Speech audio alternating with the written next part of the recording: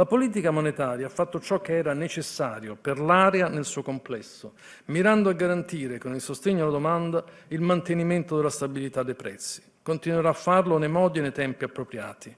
Si discute spesso, non sempre con il necessario approfondimento analitico, del momento in cui si uscirà dall'attuale fase fortemente espansiva. Se ne parla a volte per richiedere un'accelerazione forzata, altre volte agitando al contrario lo spettro di possibili conseguenze drammatiche.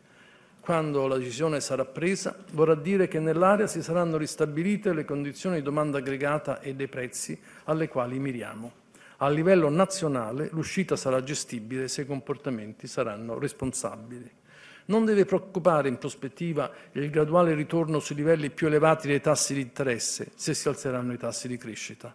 Quello da cui bisogna guardarsi è piuttosto il rischio di un loro aumento dovuto a un calo di fiducia dei mercati, le cui conseguenze, dato il peso del debito pubblico, potrebbero essere serie.